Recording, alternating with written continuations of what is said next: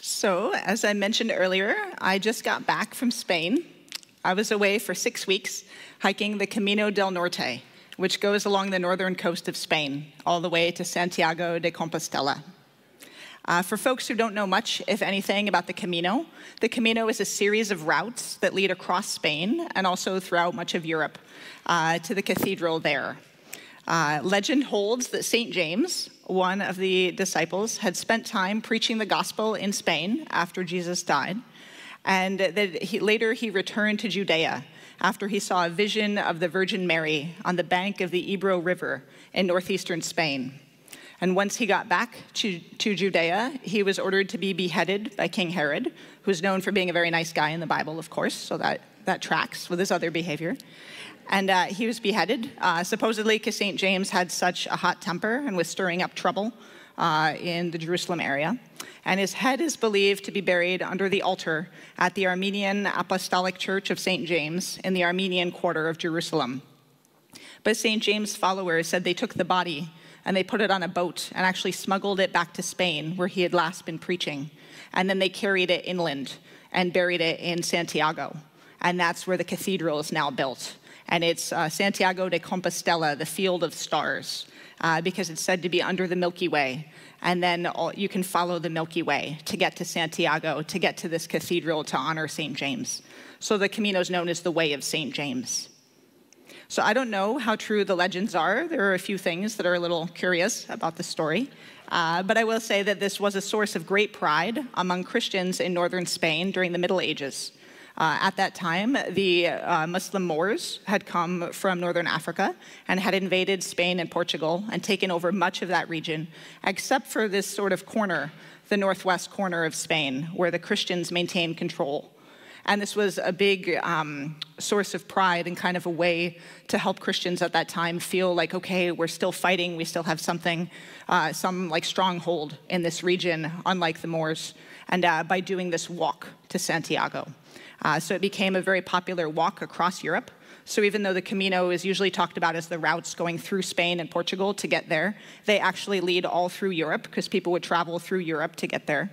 And, um, and it was, uh, became such a popular route uh, that Pope Alexander VI actually declared it one of the three great pilgrimages of Christendom, with the others being to Jerusalem and then to Rome. Uh, and actually, the Compostela that I received, the certificate from the Catholic Church that you receive after you've walked at least the last 100 kilometers or biked at least the last 200, uh, is in Latin. And it's said to be the same Compostela that you would get for the last thousand years. And they actually write your name in Latin, which is a bit confusing because none of us had Latin names. We're like, wait a minute, what is this? Uh, but that's the certificate that they've been giving for about a thousand years now. Uh, in any case, the various routes to Santiago have been used by pilgrims since the 9th century. Uh, and today they're traveled by more than 400,000 people. So this is very, very popular, increasingly so in the last few years. Uh, so as I mentioned, I traveled the Camino del Norte. So Rosa, if you could show the first slide. Yes, so this is the route that I traveled, more or less. So it goes along the northernmost route, uh, northernmost coast. Uh, the most popular one is the Camino Frances, which is south of that. I didn't want to do that one because I heard it was very hot. And I am like, I'm from Vancouver. I am like Stephen, where I'm very used to the rain and can handle hiking in the rain. I cannot handle hiking in 40 degree temperatures. Uh, so I'd rather deal with the rain along the coast uh, than the extreme heat. So this is the route I traveled. Uh, and next slide, please, Rosa. And uh, this is also one of the longest Caminos. So this was 840 kilometers. So it took a little while. And uh, it goes from Irun, which is on the border with France, uh, up in the corner of Spain, all the way to Santiago. So it's quite long. Um, I didn't pick it just because I like doing hard things. Uh, again, it was because I thought it would be, the temperature would be a little more manageable for me. Uh, but also, I'd heard it's the most beautiful if not one of the most beautiful caminos. And I, I haven't done the other ones, so I can't really say, but it was very beautiful. So I think that's probably true. And also, I have this kind of personality that I don't think things through. And I'm like, oh, I'm sure it's fine. Like, lots of other people in their 70s do this. I'm 39, I'm sure I'll be fine. And I think I underestimated how hard it was gonna be, which I'll talk about in just a little bit. Uh, Rosa, next slide, please. Uh, so it's definitely one of the most beautiful. This area is around Orio. This was on day three, going to Zarautz. It's so beautiful there. You're going through farmland. We joked that no one actually lives in northern Spain because for most of the time, you're just out in nature. And we were hiking on average about seven hours a day. And I say hiking, so people say they walk the Camino. But my pilgrim family and I had a discussion about this.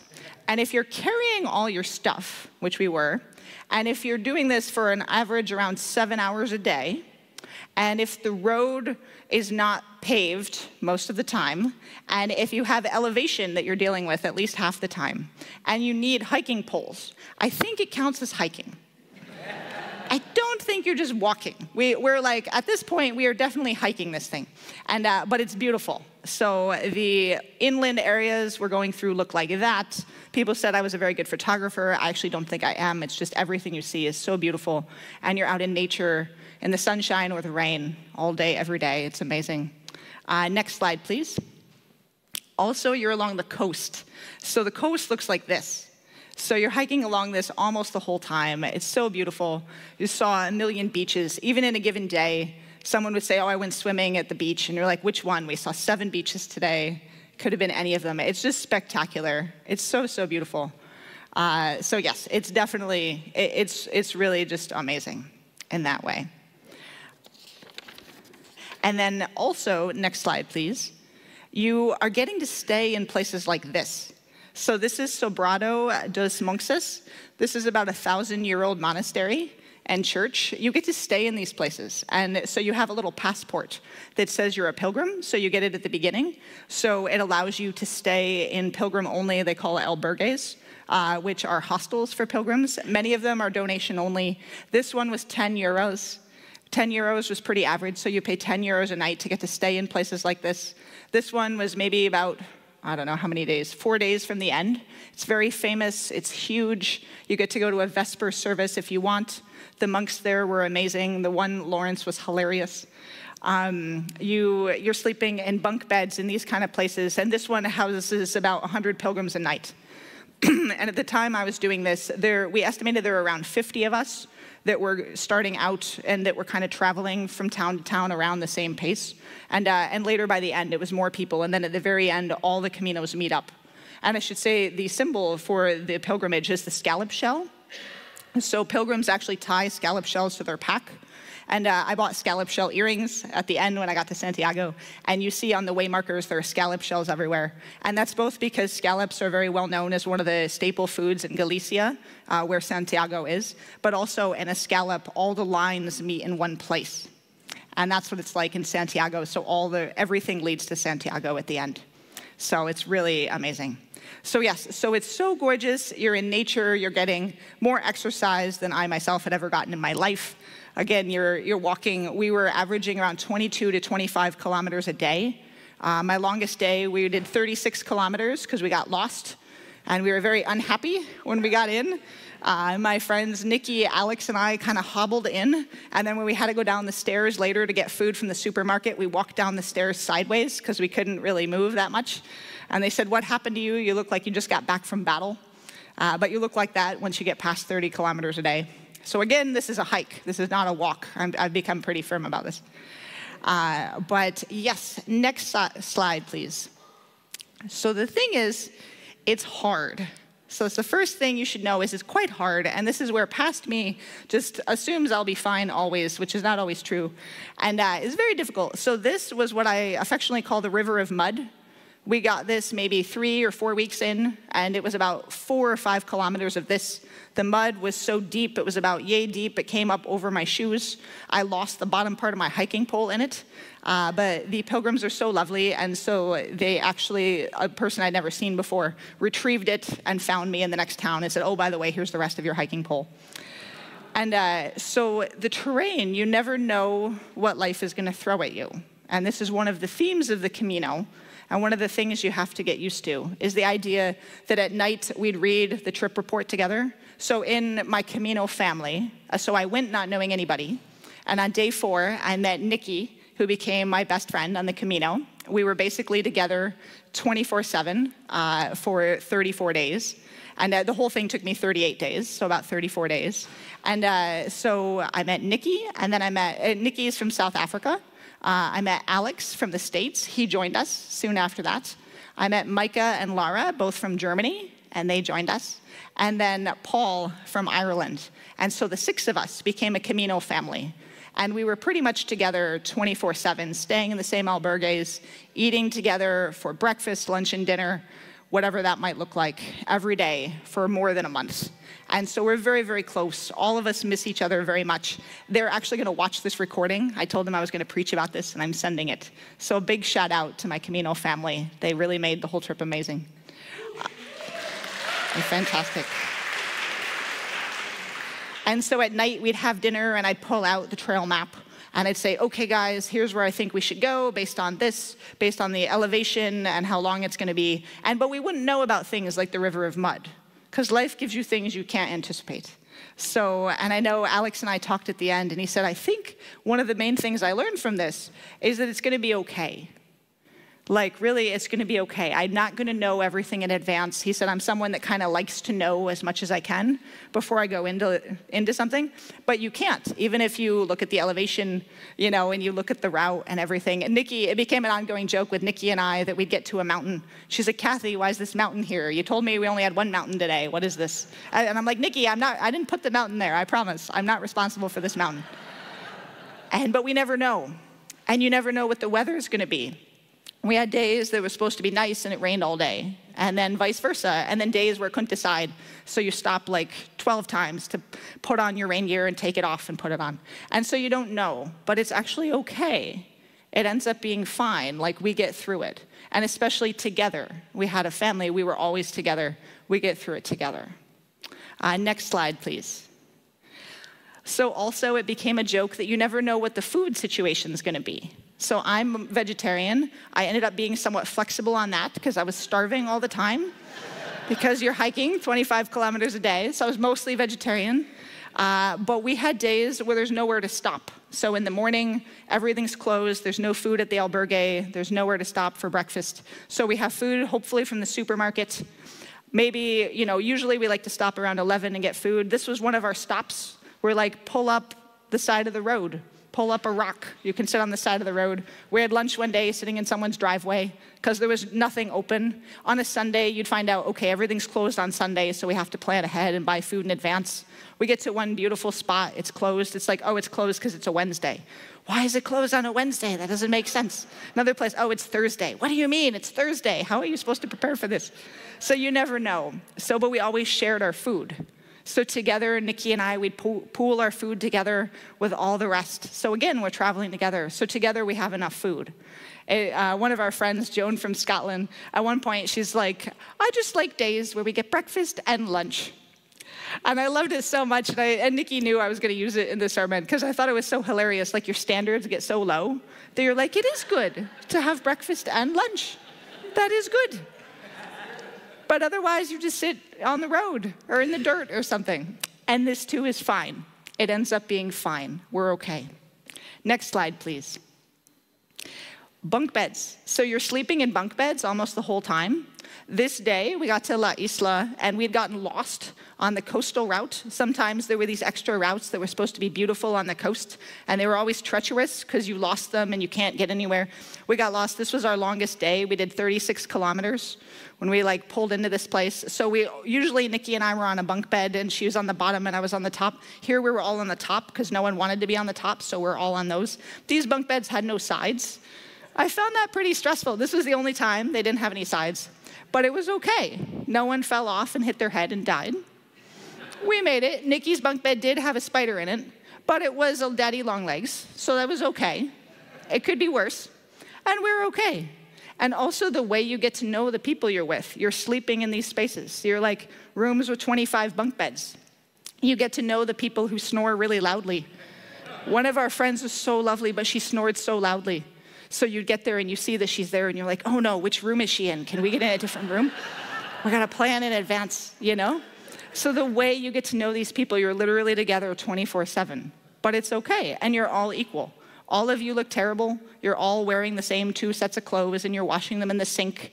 Or when, if you get a laundromat, everyone puts their clothes in. One time, 10 of us put our clothes in together in the laundromat, and then I lost some of my clothes. I'm like, that's fine. Some other pilgrim has those now. That's fine. That's fine. You're okay. We're okay. It's a shared experience. You get through it. Next slide, please. Also, my ongoing problem was that I had blisters constantly, but everybody had some problem or another. Nikki would get foot cramps. Alex had an issue with his knee. Other people, Laura actually at the end had to go home in the last week because she had really bad shin splints. Everybody had something. Towards the end, we got the stomach flu. Everybody in the albergue, except Paul, got the stomach flu. Paul is my dear friend from Ireland. He's amazing. He was the oldest one in our family. He was invincible. He walked the furthest, he walked the fastest. He was the only person in our albergue who did not get the stomach flu. I don't know how he does it. But that night, we couldn't eat all day. We were throwing up. We were horribly, horribly sick. But that night, we kind of pulled it together, and Micah and Laura made this pasta dish for us. And then we planned how are we going to get to the next town tomorrow, because no one can hike 20 kilometers except Paul. So we ended up sharing a taxi to get there. But we were together, so it was okay. So if you have a family, if you have people around you, even when things suck, you get through it. You share your food, you share your resources. Together, we can do it. It's not so bad. If I was by myself, I wouldn't have done it. This was exactly one week before we got to Santiago, and I was really grumbling by this point, and I was like, I don't even like this anymore. I don't even want to go to Santiago. This sucks. This was a mistake. I shouldn't have done this. And my friends were like, You're going to be okay. You're going to feel better tomorrow. You'll stop throwing up. It's going to be okay. and they were right and it was good. And I stuck with it because of them. I don't think I would have stuck with it if it wasn't for them. But together, right, we share the load. Next slide, please. And so at the end, this is really a peak life experience. So you have this intense experience with these people. You're together for more than a month all the time. And so what happens is on the last day, we set it up. We only had 10 kilometers to go, which is like a walk in the park for us now. Our idea of what's a long hike is totally skewed. I'm going to ask my family to go on a 30 kilometer hike thinking that's a normal request. And uh, so at the end, you get into the city and you can hear they have uh, traditional bagpipers playing Galician bagpipers.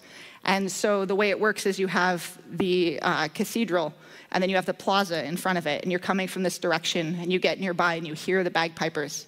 And then you go through, you go down these steps and through a tunnel past them and you wind up in the plaza. And suddenly we're all together and we're like, okay, guys, and you can hear it, and you're going past the bagpipers, and everyone starts getting emotional and starts crying. And you step into the plaza and you see all these people, and everyone's crying and everyone's hugging. And our friend Lily, who I met on day two, she was my oldest Camino friend from Manchester. She said she'd gotten there three days earlier. She was too fast, we couldn't keep up with her.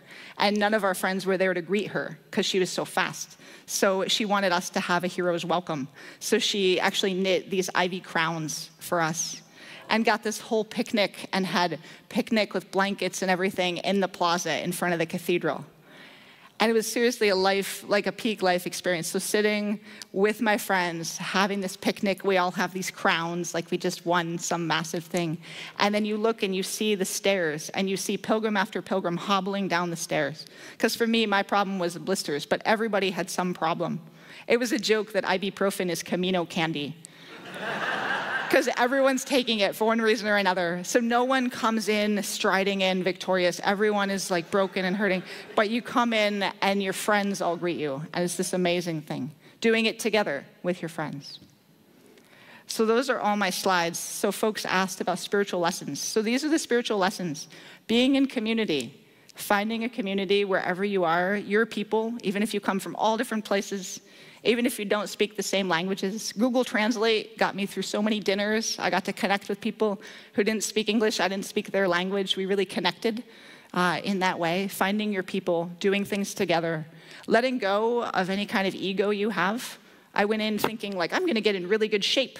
And then I basically hobbled for like 800 kilometers because of my blisters. But everybody else hobbled for different reasons, so it was okay and you're all doing it together. So it's okay. It's not, it actually would have been worse if it had ended kind of like, look at me, look what I can do. Like it, it shouldn't be about that. Hopefully you got rid of that like 200 kilometers in.